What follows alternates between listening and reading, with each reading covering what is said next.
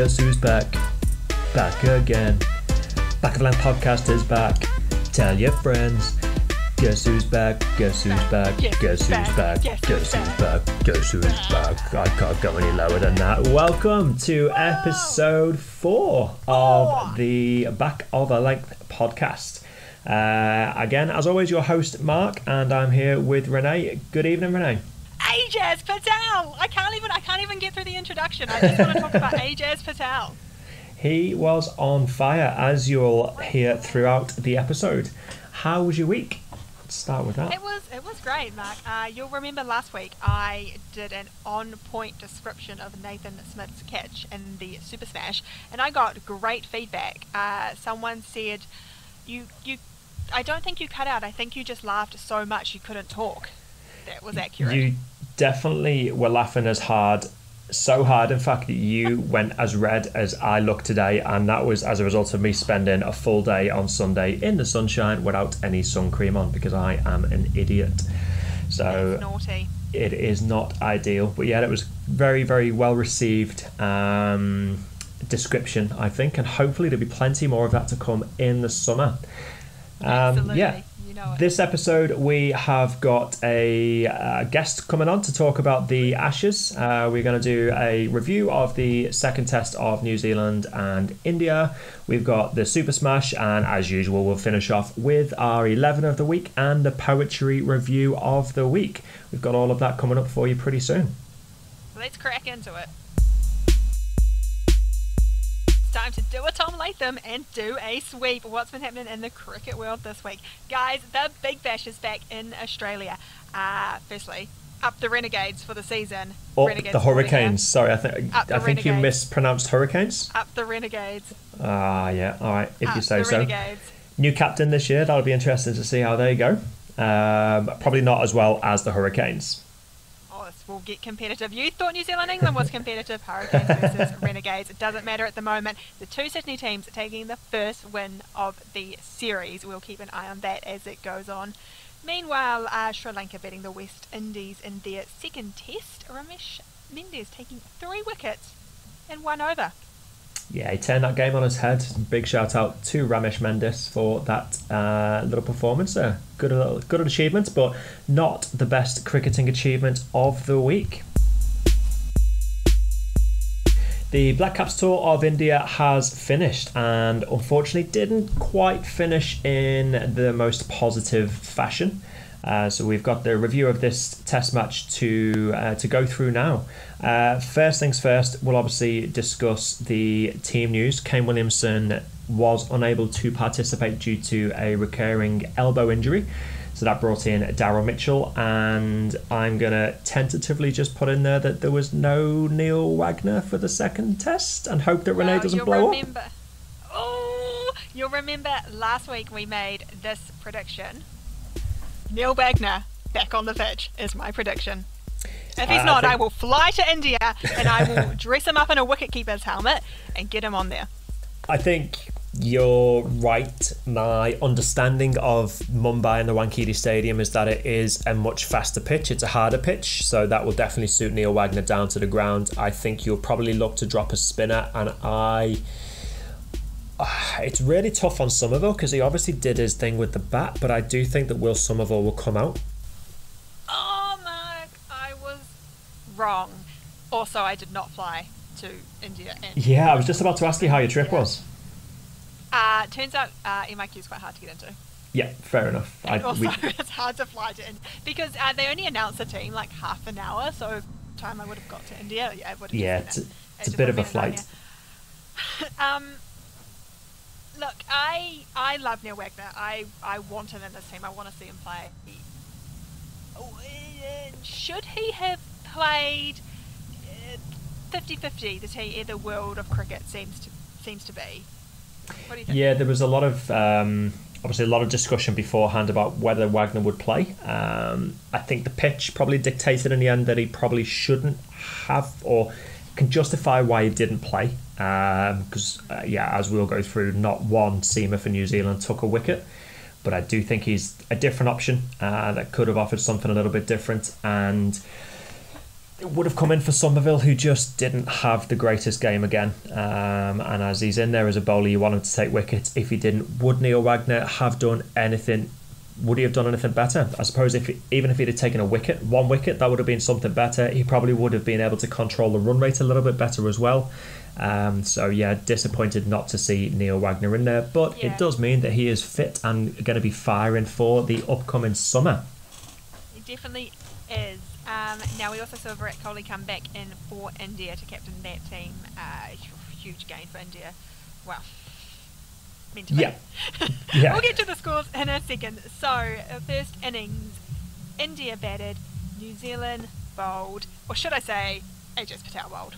Yeah, it can't really. There's not really much to cover from a New Zealand bowling perspective, other than Ajaz Patel becoming only third cricketer in Test history to take all ten wickets in the innings. Um, we sat and watched day one unfold. Didn't really know what to expect, uh, but I think seventh over, which is when Ajaz Patel came on, the third ball that he bowled in that over turned square off a good line and length, and that probably gave you a bit of an indication that he was in the game and that spinners were going to dictate this test match. And yeah, he just. I wouldn't say annihilated his way through the Indian batting lineup, but he definitely he bowled the best out of any New Zealand bowler and thoroughly deserved all ten wickets. Um, yeah. We're so proud. We're so proud of Ajaz Patel. I think he's done a, phenomenal achievement. I don't want to play devil's advocate, but you get ten wickets. What were your other bowlers doing? Like we, we know Southey and Jamieson were putting on pressure onto the bowlers, and they did play an important role. But as a, in a New Zealand team, are you like stoked about this?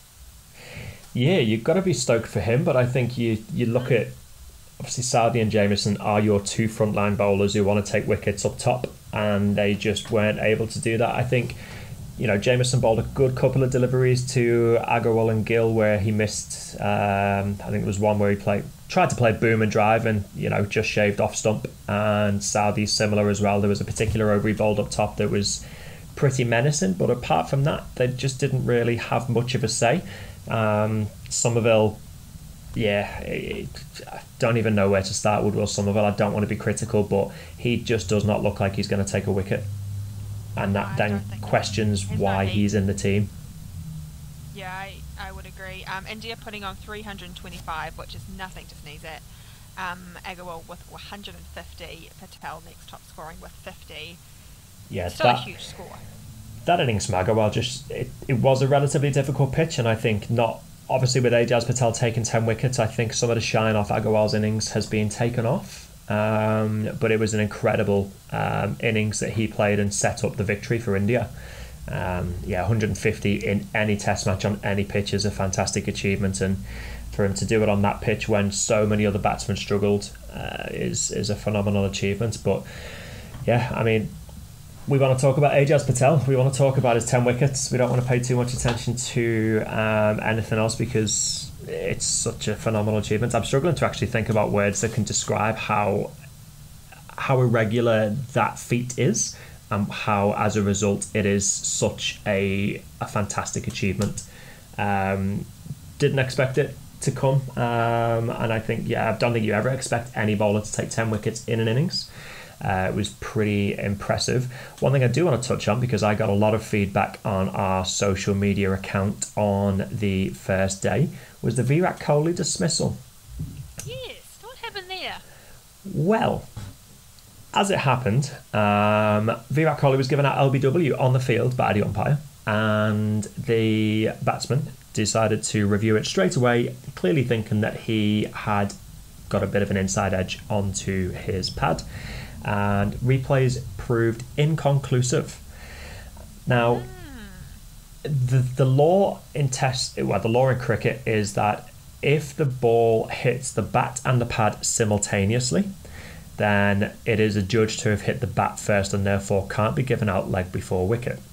So a lot of comments were provided to the social media account on the lines that the umpire should have the third umpire should have applied this law and should have overturned the decision and they were pretty filthy that he didn't. However, My point was that your third umpire can only overturn a clear and obvious mistake.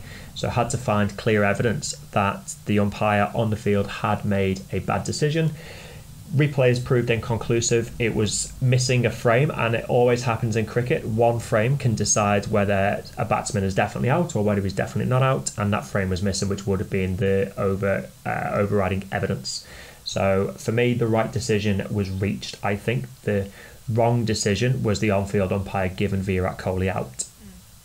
I think, I but agree. it's also hard to determine whether the ball, whether the ball has hit the bat or the pad first, or whether it's hit it at the same time. So you cannot blame the umpire for getting that decision or giving the decision that he did. I'm not even going to say he got it wrong because I think it was touch and go either way. But I digress on that point. Um, yeah, India put on 325, then New Zealand came into bat. Wow, we made a prediction of who would have a big innings. At Mumbai, if it is a bit, bit better, a bit sort of, bit more bouncy, uh, less dead, less conducive to spinners, will probably uh, suit Nicholls. I think a lot more. He did not look too comfortable against the spin of of India uh, on a really slow, low pitch that was turning. That's my prediction. I, I'm backing Henry Nicholls to get some runs in the next test. I'm going to back Ross Taylor to score um, a good total up in Mumbai. we're sorry to say once again that we, we, we got it wrong because New Zealand as a whole batting unit didn't have a good innings. Um, Jamieson top scored with 17 as New Zealand were bundled out for 62. I did not pick Jamieson to top score. No, I'm a betting man, and I wish I'd have put a little bit of money on that because I think he would have had good odds to get the top score in that innings. Um, yeah, not a great Poor performance. Ajaz Patel. Poor Ajaz Patel took 10 wickets, went for a sit down, and was out there before he knew it. Yeah, he had a five minute sit down. He must have been pretty disappointed with the with the batting performance, unfortunately. But I guess it happens in Test match cricket sometimes, especially in places like India. You come into a place where you've got conditions that you're not particularly uh, adept at playing with, and we saw that in the first Test. New Zealand's um, composure and technique against spin was found out, and then that was accentuated in the in the first innings of the uh, New Zealand run. Well, yeah, the New Zealand innings. Um, So, New Zealand 62 all out. Uh, innings three, India choose to bat again. Now, why didn't they enforce the follow on? I have a theory that it's not. I don't think it's related to the match situation. Um, I commented this on Twitter. I actually believe that India chose to bat again because they've had a few players that have either been out of form or have been out of the side in Test match cricket. They've got a big overseas series against South Africa coming up. So I actually think it wasn't so much trying to put more runs on the board to definitely win the Test match. It was more about getting those batsmen out in the middle with a bit of time at the crease.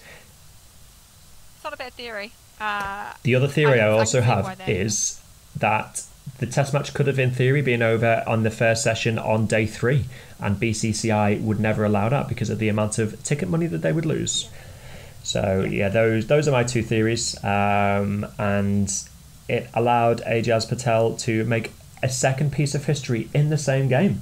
He became the player to take 14 wickets in a game in India. He's the first overseas player to do that ever. So, shout out again to Ajaz Patel. And it got Ajaz Patel.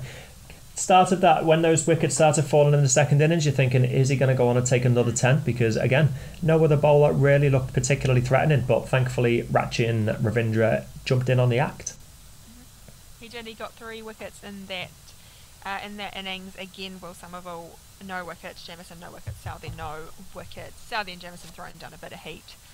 Yeah. Just not just not their day. We're not gonna we're not gonna crush the dreams of Southey or, or Jamieson. You know Southey had such a good first innings. Uh, some interesting comments coming out of Jamieson. You know he he's a player that basically exploded onto the scene here in New Zealand. He- He started taking fifers. But he's 26. He's got so much to learn. He's not going to come out and fire every single game. So I think Definitely not. you can't be too too harsh on him. But you keeping an eye on his form. Yeah, absolutely. Um, India set in New Zealand a total of 540 to win the test match, which was Walk in the park. was yeah. Well, they got seven off the first over, so it, all it took, all it would have taken was another seventy-seven overs at that rate without losing a wicket. Uh, but unfortunately, Tom Latham fell just before the end of play on day three, um, and I think that probably set up day four for India. Um, yeah, New Zealand they got 162, I think it was somewhere along those lines. Uh, Mitchell coming in with a 60 and Nicholls, uh, I think, just falling short of a 50 there. Not too bad on my predictions. I said Nicholls would get a decent score. That's not too bad. I think I also predicted great, too. Yeah, I think I predicted Nicholls, but for the wrong reason because I said that Mumbai was going to be a fast, bouncy track with lots of pace in it, and Nicholls was going to be more suited to that, and I couldn't have been further from the truth. But I did. I'm just going to shout out. I did make a right prediction during the game because I tweeted that I felt a New Zealand wicket was coming, and then a couple of overs later, New Zealand took a wicket. So I think, as well as Ajaz Patel bowled that delivery, I think I should take full credit, to be honest, for that. Um, yeah, New Zealand's second innings was never really going to live up to. was never really going to live up to much when they put on 60 odd in the first innings. But I do just want to ask what Tom Blundell was doing. Where was he Oh. going? Tom Blundell must have thought it was lunchtime. He must have done. He was. He absolutely middled it to mid off. It was almost like club cricket. It was it was hit and run, but he hit it far too well. And Nicholls quite rightly said, "Do you know what? I don't. I just don't fancy a run there. I'm not, Just- I'm not doing this. Just, yeah, I'm just not sure there's any. Not sure there's a run there. To be honest, mate. Sent him back, and he yeah." Not, uh, not great. Not the. I, I think there's positives to take out of the tour. Obviously, the first test was drawn, and that was a really good rearguard action from New Zealand. Rachin Ravindra, Somerville, and you know Patel there at the end. The positives from the second test being Patel getting the 14 wickets, getting 10 wickets in the innings. Um, but overall, definitely a lot to learn. I was listening to some of the commentary, and Simon Doull mentioned, and I think Ian Smith had also mentioned this at some point. Do you think it's a good idea that New Zealand, if they can get the pitches prepared that are more conducive to spin, do you think that that is something that New Zealand should look to do so that they can make, or at least try and give their batsmen the experience of conditions like that? Obviously, we talked in the, the first episode about how different parts of the world create different pitches, different atmospheres, and stuff like that. Is it possible to create those pitches in New Zealand, do you think, with the wet weather that we do get? I think you'd, you'd be pushing it. You could possibly look at doing it down in Christchurch where it is uh, a little bit drier. Yeah. Uh, it, it would be tough, but I think you're absolutely right. Everyone says it's so hard to play in India, it's hard to play the spin, it's hard to play on these pitches. How does a team win in India? You, you can't just have India dominating, you know, having this monopoly because of the way their pitches are. I mean, in Yeah. 2021, surely we could just grow an indoor pitch that does this. Well, you know, that's you know that's what the likes of Eden Park does, doesn't it? Is they put in a drop-in pitch, which is um, produced in an indoor facility. So you know, could could that be done elsewhere in New Zealand? I don't know. But yeah, it's all well and good to moan and say that you can't play Indian conditions, but then to not do anything about trying to play Indian conditions, you know, is something that potentially needs to be worked on. But thankfully, we're not in India again for a while, so um, we will take a lot from that test series, I think, to learn. Uh, a few younger batsmen in there, you know, Ravindra making his debut, Henry Nicholls will be around for a while. Um, Will Young, Tom Latham will make the next tour as well, so a lot to learn. And that is the review of the Indian New Zealand Test Series. We will see the Black Caps back in action on the 1st of January when Bangladesh tour New Zealand for a couple more test matches. Hopefully, Williamson will be uh, back from injury, and hopefully, Devon Conway will be back from injury too. We will start hyping those games uh, in the next few weeks on the podcast. Can't wait. Let's talk Super Smash! I love how excited you get about the Super Smash. Thank you. I'm going to go into uh, ground announcing once you go into Harry Potter. um, Sparks playing the brave Suzie Bates of the from the Sparks, bringing up 76 runs in the game and a career 20,000 runs. That's like run, run, run, run, run. That's a lot of runs, Mark. is another fantastic achievement achieved in cricket this week for, for New Zealand. She is an absolute gun and has been obviously for quite a number of years. That's yeah, incredible. The Brave couldn't really get anything going. Sparks taking an easy win there. Then the men, the Volts took on the Brave this year. The Northern are having the same team name between the men and the women, both called Brave. Fun fact. yeah, that's Now, pretty cool. uh, Change from Northern Districts, just as an FYI, if you were bothered about that. Should have known. Our Colts and the Braves men. Our boy Michael Rippon had a great comeback from last week. He took three from 32. Meanwhile, for the Brave, Jeet Raval uh, scoring 30 runs. The rain started to come down. Rippon ran off the field to protect his beautiful hair. The players went with him. Eventually, rain persisted and the game ended with no result. Do you not think that Michael Rippon puts enough product in to protect his hair from the rain? I've never thought about it. Yeah, I wonder if he's au natural or whether he puts a little bit of dry shampoo in Oh, there or something like that. There's going to be some kind of product in there because like he takes his hat on and off, and he's the only player I've ever seen wh- where his hair is just perfect once he takes a hat off. Yeah, I think. I think he uses extra hold spray, hairspray. Let's find out. that Um, can be your job. Yo, Michael Rippon, what's Yeah. your hair product? The Be a bit weird if I rock up and go, "Yo, Michael Rippon, what hair product do you use?" It's gonna be like, "Who is this guy?" Oh my lord. On Sunday, the uh, Blaze taking on the Hinds Melie Kerr once again dominant with the bat, 62 runs there. Leah, uh, Leigh Kasperek getting a 60. The Hinds not really getting anywhere. Uh, Blaze taking the wickets, uh, basically sharing it across the bowling attack, taking an easy win there. Firebirds, who have been dominant for the last few seasons, took on the Stags. The Stags were like 40 for 4. I was like, "Mm, this is like watching the test again. Uh, Hudson and Bruce came together, put on a 100 run partnership. Then the Firebirds came in to bat, found themselves in a similar spot. Uh, couldn't really get anything going. Uh, Johnson and Van Beek putting on a partnership, but coming up 15 short. Um, interesting thing about that game, Mark, was the uh, one of the bowlers appealed for an LBW, and the umpire went, um, mm, mm, walked across the pitch, looked at the other umpire, and they kind of went, um, yeah, I guess it's out, and raised his finger. Ah, how does that work? Batsman was furious. I'm not surprised because I've stood at square leg playing cricket, and you have no idea what line that ball is on. So, wa- yeah, I'd be pretty filthy myself if I was given out LBW by the square leg umpire. The only thing I can think of is whether he was checking height, because I I think think maybe he this- Yeah, probably wasn't. To be fair, he's just having a chill at square leg, seeing what's going on in the crowd. yeah, unfortunately, the uh, the Stags came uh, came good in that game. Firebirds 15 runs short. Um, so yeah, first defeat for them of the season. Now we will see the Super Smash back in action this week. I can't wait. Uh, unfortunately, no amazing catches this week, but That there's still lots of time. that is a shame. I, I was looking forward to another description of what goes through a fielder's mind when they take a specific type of catch. But I'm gonna have to wait till next week, I reckon, because I think there'll be one this week. I think there'll be an absolute ripper this week. So I look forward to that. All right, now we turn to probably my favorite part of this episode. We are going to do a preview of the Ashes, uh, which begins today, first test at the Gabba. And a big welcome along to a personal friend of mine, Harry Hopkins from Australia. How are you, mate? Well, thank you. Thank you for having me. Good, Good to yeah, be no here on the internet.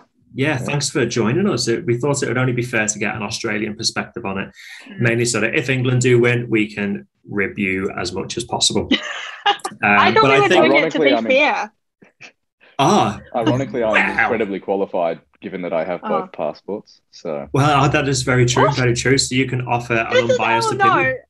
Have you stitched us up here, Mark?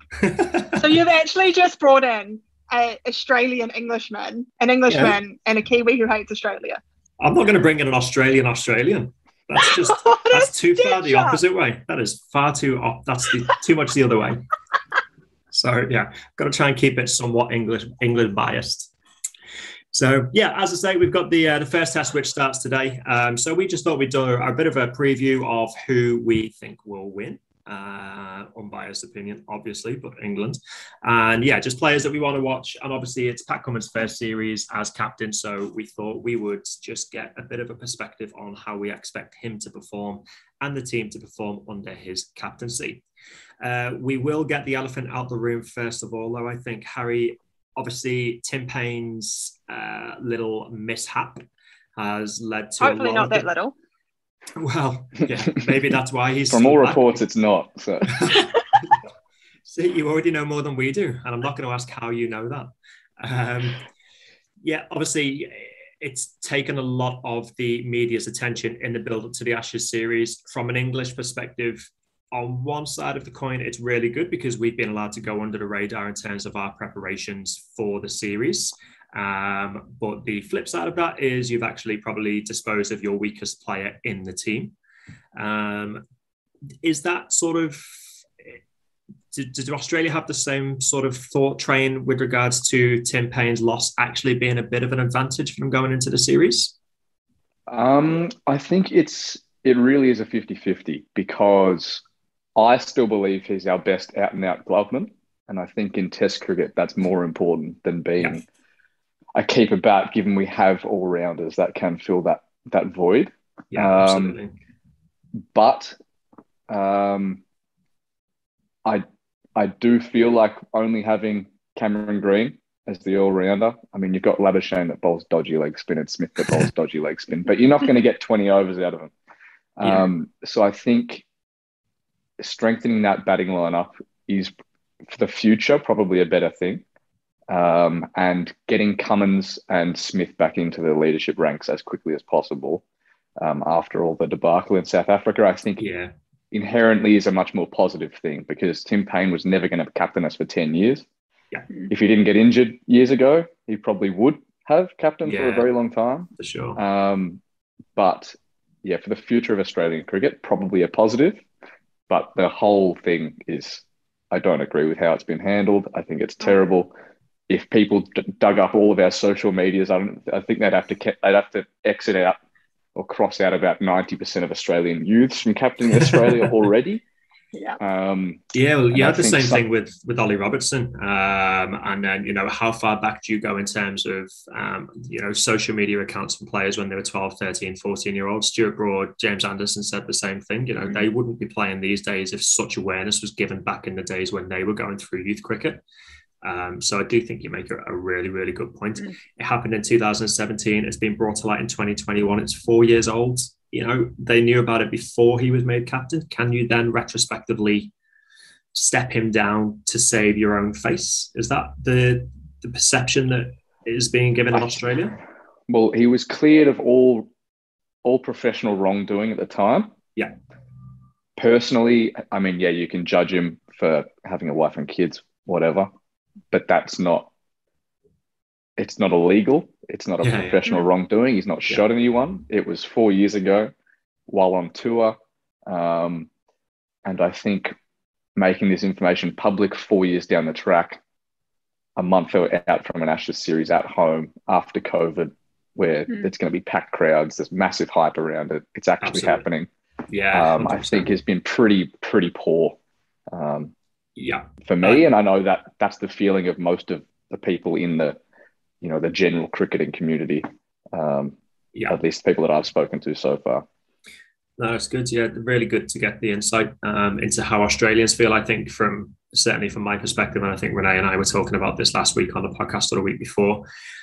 Don't necessarily agree with what he did, but I do think Cricket Australia have made him a bit of a scapegoat in the way that they've handled it. Mm. Because yeah, we agreed that you know it was 2017. They knew about it before they made him captain. Um, and the other interesting point, which I do want to touch on a little bit, is Steve Smith coming back in as the vice captain it kind of seems as though they've shunned Tim Paine out of the spotlight and dropped him to save face in terms of trying to show that they're still trying to get their perception of how they want cricket to be played to be done in the right way. But then they've brought back one of the biggest proponents of the reason that it was brought into question in the first place back into a leadership role. You touched before that you you agreed with Steve Smith coming back into the, the leadership group um, why, basically? Why, why do you think that that is a good thing? I think he is probably the most qualified person to um, guide a younger captain. Yeah. Into obviously Pat Cummins is probably going to be our captain until he retires, Yeah. or Mm. just about. Um, or until another scandal Labuschagne- pops along. Yeah, I mean, what? Yeah, he, he sends a couple of photos on Snapchat. Yeah. Yeah, when he was 12. Um, yeah, you know, or he doesn't, or he you know cheats his way out of some Uber Eats. But, but um, I think the next person to, so no one else is ready to take that vice captain role. Obviously, Warner's banned. We don't want him in in leadership.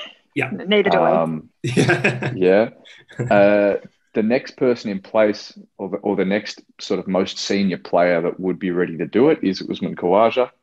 He's been in and out of the team. I think he mm. should be there, but if he's there, they probably might name him have named him vice captain. Yeah. Um, mm, I think yeah, that's a really interesting too point. Young. Yeah. So yeah. I think Smith is the only person in that team that is going to play that can play that role, unless you have Lyon and Cummins, mm. and I, I, don't think that works. Yeah, it's an interesting point because we were debating who else could be this vice captain, and we couldn't think of anyone really who had been consistently in the team. So I guess I don't really like Smith being captain. I think he's been there, done that. But yeah, you're right. Who else does it? Mm. Lyon. Yeah, you, you, definitely yeah. touch it. You make the right point in that Labuschagne was too young because that's who we yeah. thought maybe was the only yeah. other option, just because of the fact that he is going to be the the present and the future of Australian cricket in terms of his longevity in the team. Obviously, form dictating that he will obviously either play or won't play, but there is nobody really look at in that team and go, do you know, you touch on Nathan Lyon, he must be getting on now, so he probably hasn't got that much longer left in Test cricket, I wouldn't imagine. Well, I mean, he's cheated on his wife as well, so right, yeah, absolutely. He's probably ex- he's probably excluded himself from that as well. Right. You know, like the, the, the, whole the whole squad's dropping like flies at the moment. Yeah, it seems so. What are your thoughts on Pat Cummins? How, do you, how much do you think you'll lean on Steve Smith, and how much do you think you'll want to put his own stamp on this team? Do you think he needs to put his own stamp on the team, or do you think he will just go with the what has already been set in place for him by Tim Paine? Um, I think he will be fine. He's been the vice captain of this team now for a couple of years. Yeah, um, and he seems like of the bowling group, the most well-rounded. He's the best batsman in the bowling group he will bat eight. Um, I don't think. I think he knows when he should he should bowl. I think yeah. the only the only times when he's bowled unnecessarily, it's not been his call. Mm. Um, so I think he'll be fine. That bowling group's been together for a very long time. Um, Hazlewood, Starc, Cummins. Lyon, and if if someone else comes in, there's still three of them there that have played, you know, upwards of sixty to seventy tests with each other. Yeah, they know each other they know, how, they know how each other work. They know their roles. I think they're going to be fine. Um, I think Smith will have an input on the field. Yeah. Um, and I think Pat might, you know, he might need someone to tell him when he should bowl and when he shouldn't bowl if he's if he's thinking about it. And I think Smith, having captained this bowling group before, is probably the most qualified to to do that. Yeah, that'll be interesting um, to see how much he does bowl himself because I guess as a bowler, like I've captained before. Again, obviously club cricket, not a very, not a very high level. Wasn't when I bowled that 18 ball over, but um, yeah, thankfully I wasn't captain then because I got hooked. I'd have given myself another over after that just to prove myself right. But we'll move on again. I actually remember captaining a game and just giving you the overs because we'd been we'd been rolled for sixty. I just said yeah. ball, ball from one end, get it done. Let's yeah. get back to club. Yeah, see if they can win in wides. Don't give the batsman the runs. Yeah, I think you and me just rotated, just bowling. Yeah, yeah, absolutely. We still, I think we still got about five or six down. You got all six wickets. But um, yeah, anyway, um, yeah, I think it's an interesting one because as a captain, you don't want to be seen because you've got that power to over bowl yourself or necessarily bowl yourself when you might think that you're the best person for it because you're worried about the criticism and being seen as, oh, well, he's just bowling himself because he's captain. That's one of the reasons I think Stuart Broad never made captain for England because he would probably over bowl himself and he He'd would happily bowl 45 overs. Easy. And he'd get, we'd be five overs in and have no DRS reviews left because he would just go for everything. So I think that's another reason. But yeah. yeah, it'd be interesting to see how much he does bowl himself because I do think he's your best impact bowler. Um, mm. I think, yeah, he's the guy you turn to. Him and Hazlewood probably, but I think he edges it. If you need a wicket, you go to Pat Cummins. Um, so I, that would be my thoughts. Um, talking of players that we think can be game changers um, from an England perspective. I think it's great to have Ben Stokes out there. Um, he showed himself that in the test at Headingley in 2019, he can win a game single handedly um, from what is a losing position. So, from an England perspective, great to have him on the plane. Joe Root is in probably the form of his life, um, but has yet to really prove himself in Australia. So he'll probably be determined to go out there, lead the team um, to an Ashes victory, but also do it from the front. Him and Ben Stokes will probably be the, the backbone of the team. Unfortunately, news coming out today that Jimmy Anderson is out of the first test, which is a massive blow because looking at the wicket, it looks green as grass because there's just a load of grass on it because it's been I think it's been raining in Brisbane for something like 14 days straight. So they've not actually been able to get too much work on the pitch. So that's a massive blow for England. Um, be interested to see how the bowling group goes without him. From an Australian perspective, obviously you've got the usuals: Steve Smith, Marnus Labuschagne, etc. Who do you think um, will be the biggest um, game changer for Australia? I think. Um, oh, oh, yeah, you've named it. You've named the ones that we think of. I think the Warner Broad contest is going to be pretty important up the top yeah. because Marcus Harris is useless and will not score any runs. I don't agree with that selection. I think Khawaja should be playing, who averages 97 in home Ashes series. Yeah. And averages 50 opening the batting for Australia. Um, I would I, I, suspect if Harris doesn't make runs, it will be Khawaja for the rest of the series. Um, for me, Cameron Green is probably the one to watch because he'll be bowling now. Mm. Um, and as that fifth bowler and number five bat or number six bat, um, I think that could be where some of those moments are won and lost. Yeah. Um, and those sort of 50 50 match winning moments are where Australia have lost quite a few games in the past sort of 24 months. Yeah, absolutely. Um, and we need somebody to step up and, and do that and uh, put in those one percenters, you know, bowl 10 overs, take a wicket, or, you know, make it make a 45 off 150 when we collapse, inevitably collapse because we're Australia. Um, I'll stay quiet as an England fan. I, I, think. I think. Oh, come on, come on, give him some heat. We're known for our collapses, so yeah, I, I'm not not excited about our top order whatsoever. Uh, but Cameron Green's definitely a player I'm looking forward to watching. I've seen yeah. a lot of um, videos of him in um, grade cricket. I think he's been playing to get himself prepared for this series, and he just. I don't think I've ever seen anyone hit the ball as hard as he does. He very very Kevin Pietersen like. Yeah, yeah, he's such a clean striker of the ball, and as you say, gives you that fifth bowling option. Um, and he's a tall lad. He bowls relatively decent lick, doesn't he? I think so. Yeah, eighty-ish. Yeah, yeah. so you know, as a fifth bowling option for a tall lad, it probably will get a good amount of bounce on those pitches. So he'll be a, a really good um, option.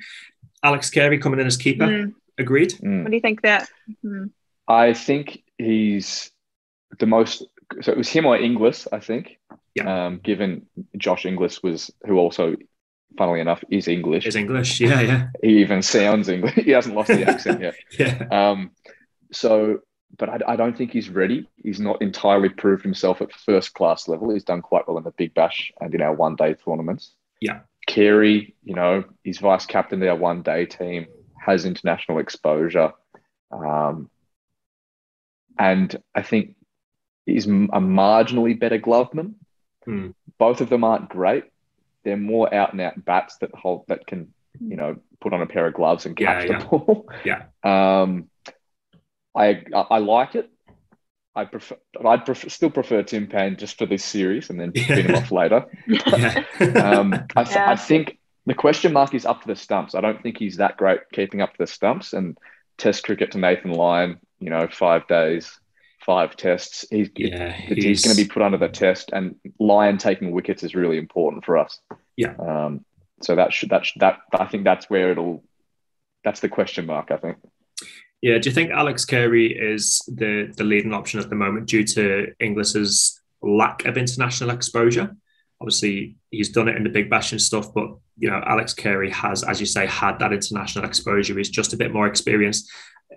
For an Ashes series, how integral is that?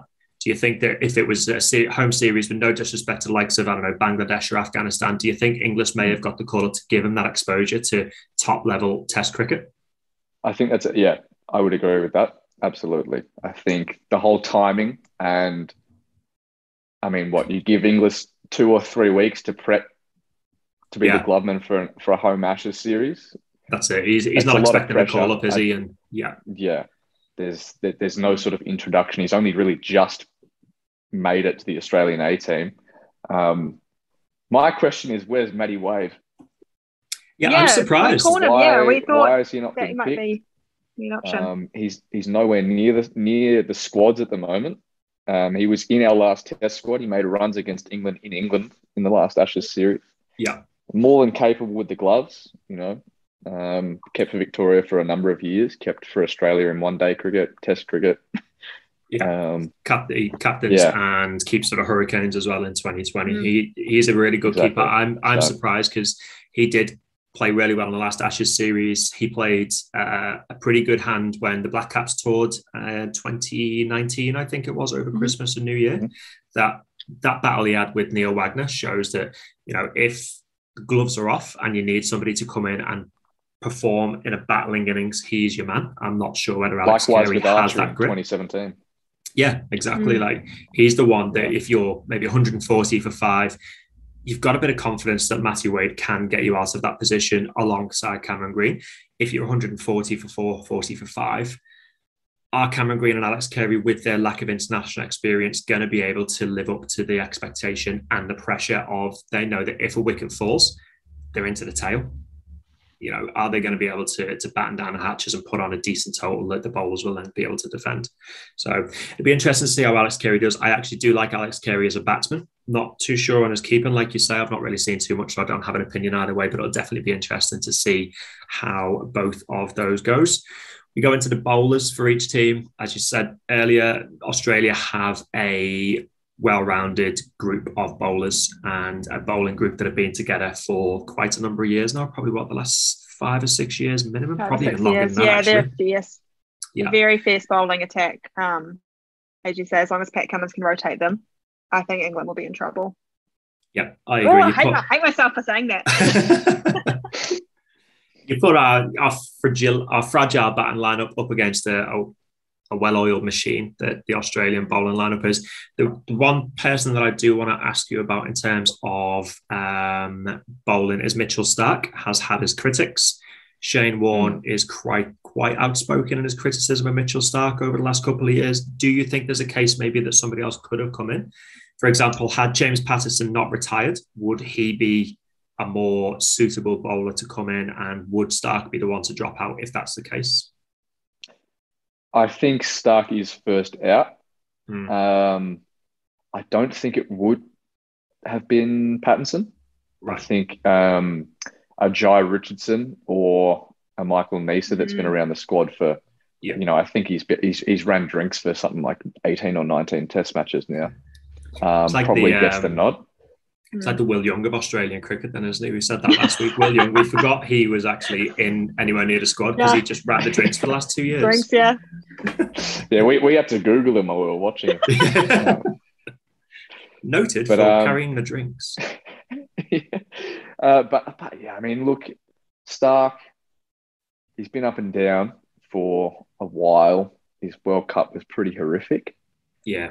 Um, but a bloke that can bowl 150 Ks and swing it, yeah, I think it, it, even if he's not, if he's performing at 65%, I think you play him because mm. cracking into your batting lineup is going to be really, really important.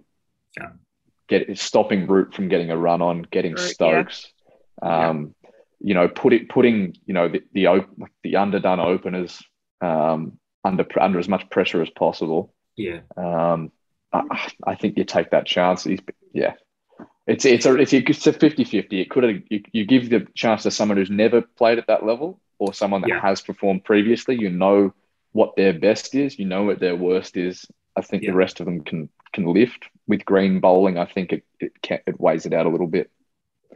Yeah, again, I mean, it possibly I mean, comes comes down to probably how big a series this is that you go for experience over someone who is green. Um, and yeah, it may well be again, no disrespect to Bangladesh or Afghanistan or West Indies, but had they have been touring before an Ashes series, you may have given someone like Jhye Richardson or Michael Neser a go to see how they got on. And if they perform well, then they make themselves undroppable. And that's the case that you make then to Mitchell Starc not playing in an Ashes, or at least well, that's exactly how series. shame. Yeah, you had a lot of shame got in the team. He made a point and now he can't get out of it. Um, yeah. Yeah, but you don't do that for the Ashes. You've got to put in your best team, your most experienced. Yeah. I Um, think having knows- that Afghanistan game cancelled really messed things up because I think quite a few of these players would have Mm. played that game down in Yeah. Hobart. of Um, course. not possible, but I, I think you know Inglis might have got a shot. Um, Neser, Richardson, um, maybe you give an, an, another bat. Maybe you give Khawaja his chance before the series. You know, a one-off test to see if he can if he if he can provide runs in the middle order or Yeah. opening. Um, so I think England have a chance, to be honest. Yeah, well, I was just I about to move. I was just about to move on to what your predictions are. Yeah. Um, so I think we're going to go through, and each of us are going to make a prediction about the final score in the series. Renee, as the completely biased, unbiased, don't really, you know, support either team too well, but hate Australia much more than you do English cricket. What do you? How do you think the series will end? Five draws. Five draws. Nothing like Five sitting on the fence there five at all, ties. Yeah, five ties. Yeah. Five ties, yeah. Can't talk about ties with New Zealand cricketers because they Five honestly five just series draws. Yeah. go straight back to 2019 and that World Cup that was lost by them. But yeah, Harry, how do you think the series will pan out? Who do you think will win? What scoreline? Um, I think the weather's been pretty dreadful. I think this Yeah. first test might struggle to to find a result, which is a you know it pains me to say it because it's the Yeah. Gabba, but um, I think most likely um, a three 0 or a three one Australia, but I I wouldn't be shocked if it's if it's more like a two two and maybe. Maybe if there's a couple of quick results, it comes down to that last test. Um, Yeah, but I'll go. Th- I'll go three-one Australia. I think England will take a test, maybe two. Yeah, sweet. We'll take that Mhm. passport off you as well. That's Um, right. Okay, Mark. I- Cut them both up. yeah, I reckon you don't need them at the moment. So what's the point in having them? Um, I yeah, my heart says one thing and my head says another. Um, I think if this series was in England, then I would be leaning a lot That's more not- you know, towards you can't. England. Of course, I can say that. That's in it. They can. They rotate it for a reason. Yeah, of course, It's I in can say that. Australia. Let me finish my sentence. But because it's in Australia, it was in Galle, it might be a close. Nathan Lyon would have a field day. But um, Come yeah, I on. think with it being in Australia, um, Mm-hmm. Australia's yeah, it's a hard place to tour at the best of times, especially for an Ashes series. First test, we will be a little bit down with Jimmy Anderson being out, Mhm. so I do think it will be, I think three one Australia for me. But I also wouldn't be surprised if we steamroll you in the first test and your batsmen are short of confidence and we're pretty buoyed and can go on and do something pretty remarkable. So, yeah, I guess you'll have to watch this space and come back in, I think it's seven weeks that the series is, is over. So, yeah, mid-Jan. We will uh, we'll keep a hold of this prediction segment and we will let you know how we get on. Uh, for now, that is our Ashes preview. Thank you so much for coming on, Harry. It's been great to catch up, great to talk with you. No, And we thank you will for thank you for getting on. catch up with you after the third test and we'll take stock on how our predictions are going so far and maybe allow you to change your prediction because England should be 3 0 up at that stage. Three draws. I'll believe it. I'll believe it when I see it. Yeah, me too. Me too. That was more hope than expectation. All right, that is the Ashes preview. First 11 of the week, of the week, of the week. Of the week. Time for the first 11 of the week. I'm super musical today, Mark. You really are. You've come up with a few jingles. That's great. That's great. Exciting. So this week, Mark, um, now in honour of Ajaz Patel, I thought we would look at an uh, first 11 I made on the uh, bank of a Super Smash game last week when I thought, can I come up with a first 11 of A names without thinking about it? Like, can I just sit here and write it? And I did. Spoiler, Ajaz Patel's not actually on this list. When you say A names, I assume it's like first or second name uh, begin with Uh, A. just first name. Just, Just for- oh, just first name. 11 different first names starting with A. In Ah, it now okay. we have Andile Phehlukwayo from South Africa. Yep. In it two with Alistair Cook, three AB de Villiers, four Anton Devcich, at five Albie Morkel, Nice. Mm-hmm. at six we'll see him in the Ashes soon. It's Alex Carey. And at seven, Adam Parore. Eight is Ashton Agar. At nine, Anaru Kitchen, making his second appearance. He is, yeah. Did not pick him to be here twice. At ten, we have Andrew Symonds, and eleven is Aaron Finch, who probably shouldn't bat at eleven. No, I think he'll be pretty upset that you've put him in at 11 um, and you've put have Andile. I think you should probably swap him and Andile Phehlukwayo because I'm sure Phehlukwayo is a bowler. And therefore. I'll be more cool in at five. Uh, yeah, well, yeah, probably swap him and Alex Carey around. But we should point out, I think, that the first 11 isn't necessarily the order in which they would bat. No, um, I think that would also be quite difficult for our first 11 of wicket keepers that I'm currently working on. Yeah, because who would you get to bowl? So that would be interesting. That is your 11 of the week for episode 4. If you have any other players that you think would belong in that 11 that don't have the same first name as anyone we've got in that 11, please pop along to our Twitter account at back of length with a little underscore, or if you prefer Instagram, it's just back of a length.